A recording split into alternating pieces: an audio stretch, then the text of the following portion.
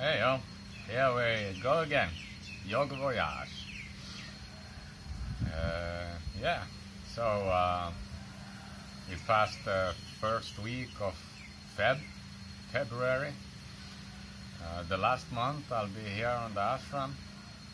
End is uh, end is approaching, but uh, yeah, it's been it's been really good time.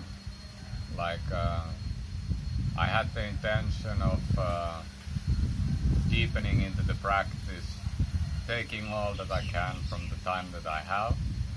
I moved into the hut and all, and uh, yeah, it's uh, it's been really great, really great.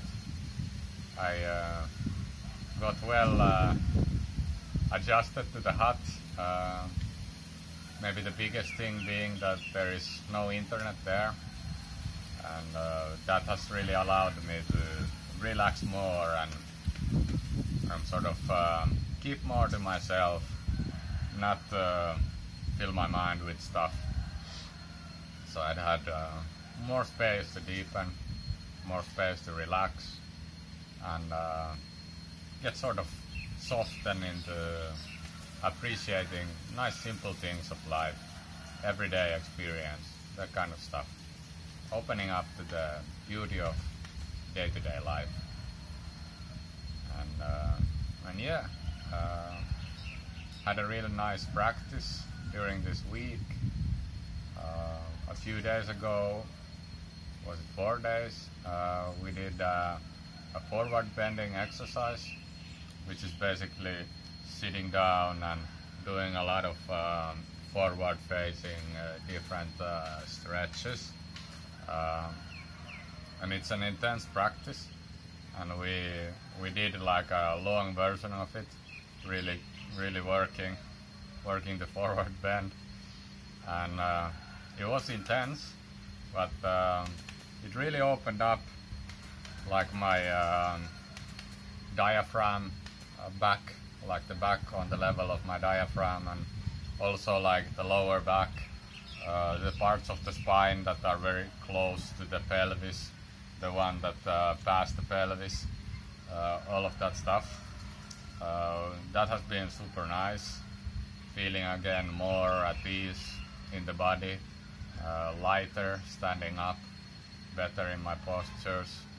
also the sensations of the body the lower body keep getting more more alive is super nice.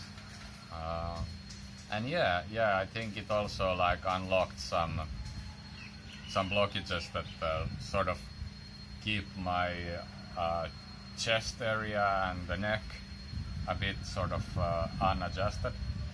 So after after I had like stuff open up here uh, in the practice of the following days, I just kept noticing like things sort of adjusting popping more to their place.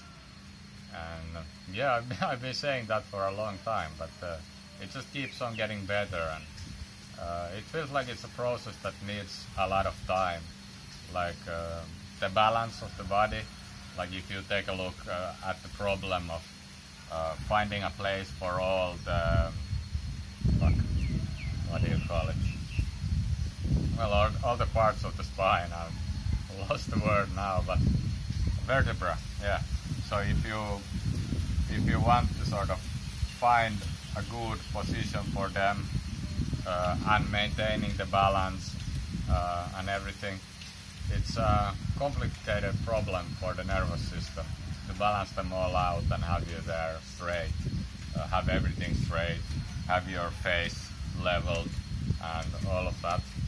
So uh, I guess that's one of the reasons it takes a lot of time because your body learned one way to balance things out, uh, learned to use certain parts of the spine as a part of like all the movements you do in your day or your walk and stuff. And now just opening them all and keeping them all alive so they all participate in like walking, everything. Uh, they remain alive instead of being like blocks and they find a new balance. So, well, I think that's one reason why it needs so much time. Also, like there is some tissue that maybe hasn't got a lot of blood flow or or the nerves don't connect very well there or something like these blockages uh, or these uh, like a number spots uh, maybe they take some time also to sort of come more alive get connected. Um, anyway it's like long time process. I keep talking about it but it keeps getting better. I keep getting benefits. It gets more easier to breathe. Uh, the voice gets opened more and more. The movement uh, it becomes more like flowing. The sensations of the body become like also flowing more vivid. And uh, also there's a sense of ease in the body because like uh, even though I didn't sort of consciously pay attention to it but if there are like misplacements in the frame in the bones uh, I notice now that it creates a lot of tension uh, inside for the nervous system like you sort of constantly have on the background this feeling that something's not quite right and something should be fixed or improved or something. And uh, yeah, I really think it comes uh, also from like the body alignment. Like if there is vertebra that are sort of not on their place, not really mobile, uh, they have their effect. And you notice it in meditation as well. Like uh, I've noticed it for some time, like these unpleasant feelings that are there if you like put your awareness to it. So yeah, now I'm really happy to actually be able to solve them. I used to live my life like without noticing in a way. Then I did the meditation and as I kept doing meditation, they kept bothering me more and more and more as I sensi got more sensitive and of course they were sort of getting better slowly.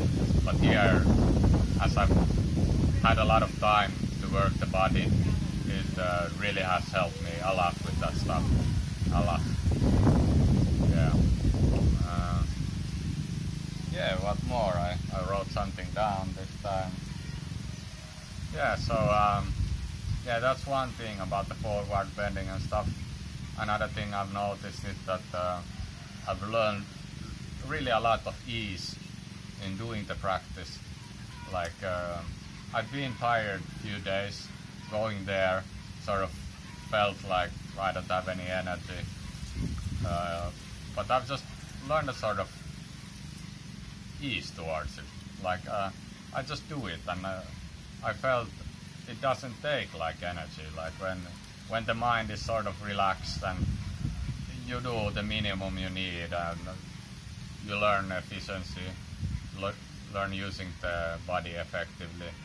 So I've just taken notice that I can do the practice even when I go in sort of tired. I don't, I get less tired doing it and it's not an issue. and yeah, also a nice thing to notice uh, regarding energy is uh, uh, this, uh, this day off I just feel really fresh in the body and energetic. I feel I don't even need a day off, uh, but I'm gonna take it anyway. I'm gonna let this day of rest for myself and see see what follows. But, but I don't feel like I need it, but it's it's super nice to have anyway. Mm. I wonder how I'll feel like tomorrow. Remains to be seen. So yeah. Yeah, something also I wanted to share. I uh, finally decided to start studying a little bit of Sanskrit. I've had a lot of resistance to it.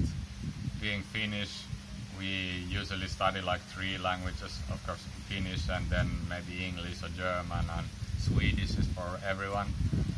And, uh, and I've learned Spanish and I feel, ah, so many languages.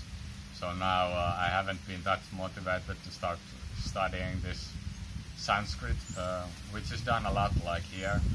And in the class I learned that it's it's sort of the basis of all the mantra practice that uh, we do as part of Tantra.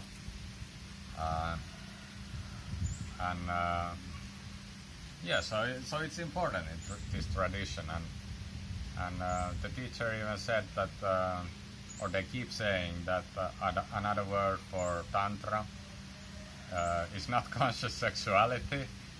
That's new new stuff, neo tantra, and that the traditional tantra, at least in our system, another name for it is uh, mantra marga, which is like the path of the mantra.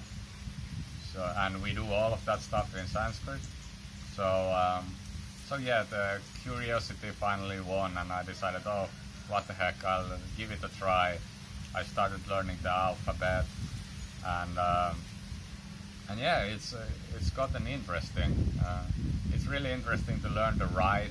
Reminds me of the time that I learned the European alphabet uh, when I was in first grade, and now like uh, living that kind of process again is really interesting. Now that I'm an adult, uh, I can see what I sort of did wrong back then, and um, and yeah, it, it's interesting stuff. Like uh, I didn't sort of realize when I learned language the first time or learned to write, read the first time, the impact it has.